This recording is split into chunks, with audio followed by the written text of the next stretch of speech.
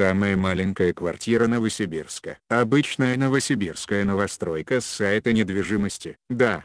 Построили, как всегда, на отшибе. Да. Никакой инфраструктуры. Да. Будущее гетто. Но ничто не предвещает того ужаса, что ждет нас внутри. Поднимаемся по лесенке свеженькой панельки. Приоткрываем дверь новой квартиры и видим какую-то прихожую. Почему-то с окном. Нет, Погодите-ка, это же не прихожая, это же вся квартира. Ахахахахаха. С кухней. Видимо, здесь должна появиться плита. А это, наверное, гостиная. Где здесь ставить кровать? Непонятно, так как места для нее нет. Возможно, авторы этой квартиры предполагали, что спать надо стоя. Может быть, здесь, как в поезде, будет откидываться полка для сна. Ванная, где с удобством разместился бы Хабит или Тирион Ланнистер. Кстати, если уж и делать интерьер в 8 квадратных метрах, то лучше вместо ненужной ванной сделать душевую и сократить площадь. Это настоящее объявление о продаже недвижимости в Новосибирске. Закуток площадью 8 кв.